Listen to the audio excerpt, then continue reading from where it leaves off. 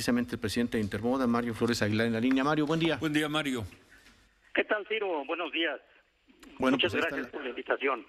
La apuesta, la apuesta de entrada para, para comenzar en mayo del 2021 eh, y bueno, pues vemos que tiene varias cosas interesantes, no solo por la cantidad de pabellones que se ve que están todos superpuestos para, pues para exponer sus productos. Sí, así es, este, Manuel. Eh, les quiero comentar nuestro evento se va a llevar, se va a llevar a cabo del 18 al 21 de enero en Expo Guadalajara. Esperamos contar con más de 500 empresas nacionales e internacionales en nuestro piso de exposición. Tenemos efectivamente 10 pabellones especializados con ofertas en dama, caballero, infantil, gala, proveeduría, accesorios, calzado, entre otros artículos. Y esperamos recibir más de 20 mil compradores especializados.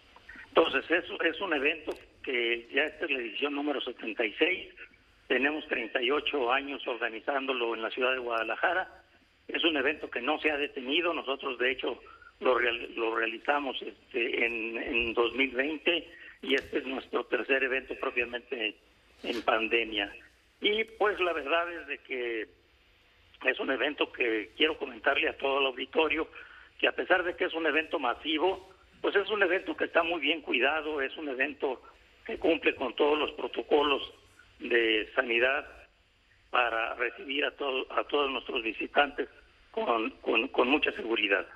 Exactamente, uno de los puntos que hemos visto sobre las expos son muy rígidos los, ahora sí que las personas que están observando, las que están cuidando eh, la cantidad de personas, que quizás son híbridos algunos de las de la pues de las exposiciones eh, y ahí cómo se preparan, qué es lo que ofrecen, Mario, qué es lo que va a ver la gente, estos pues quizá 20 mil eh, compradores específicos que van a llegar ahí, a qué se van a enfrentar en esta edición.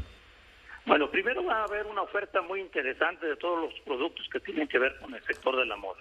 Ahora, no nada más es la parte de la exposición. Nosotros tenemos también una serie de actividades adyacentes al evento, como son el área, ya no son nuestros desfiles tradicionales que manejábamos antes en las pasarelas, ya ahora es todo un concepto creativo que tiene que ver con la forma de cómo ahora los diseñadores presentan sus todas sus colecciones en, nuevos formatos ya muy muy diferentes a los a los a los desfiles tradicionales que teníamos.